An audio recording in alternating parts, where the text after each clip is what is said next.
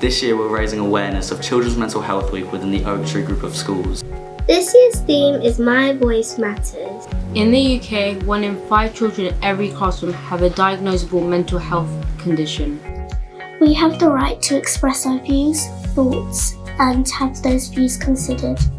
When we feel we are heard, we feel like we are making a difference. It helps with our self-esteem.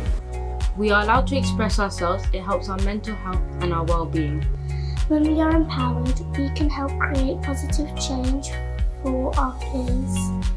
Ask for help from a teacher, parent, sibling, or other family member and keep telling them until you are listening to. Everything you think is valid and important to you. Remember, you are not alone. Everyone goes through tough times. Do not isolate yourself off from those who care about you. Make sure to go out and exercise and keep a diary to keep track of your emotions. Be kind to yourself and do what makes you smile. My school is a safe environment for my friends and I. I feel I can access support in my school and I can talk to my teachers if I need help. My mental health is as important to me as my physical health. Only when I'm physically, mentally, and emotionally well balanced can I perform at my best and be my true self.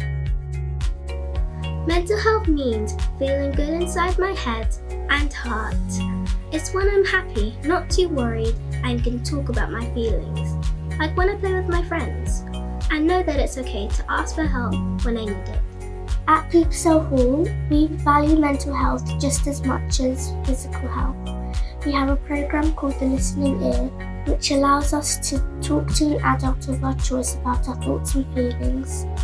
We as a school are a family and look out for each other and can share our worries. Mental health is dear to me and I know that if I am in school I can talk to my teachers about it and I feel I can express my emotions. All children, our voices matter. My, my voice, voice matters. matters.